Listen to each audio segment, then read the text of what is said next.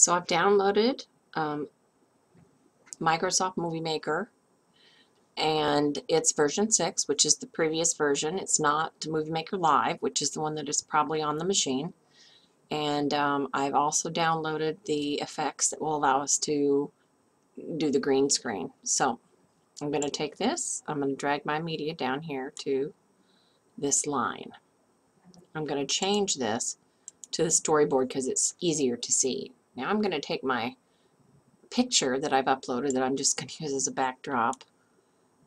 Probably not the best choice because it has black bars, but um, the next step is I have to fill this transition piece with the transitions that we downloaded and installed. So I want um, chroma green, which is what color is in there. Um, I still have some free days on my trial. I'm going to continue unregistered. And this is going to go here. So you can see immediately that this is what it will look like.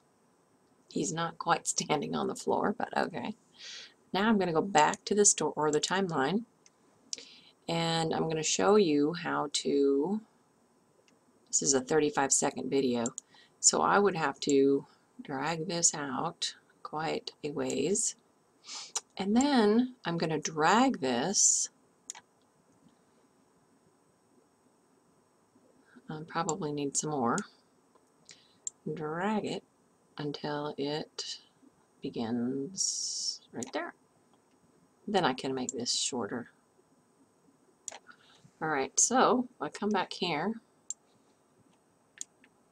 You'll see if I push the play button. Let's rip some waves, Scooter. I've created that wipe out. the green screen. Whoa. Get stoked to plan your moves. So that's basically how you can do green screen in um, this particular combination. Um, good luck with that. I hope it works for you.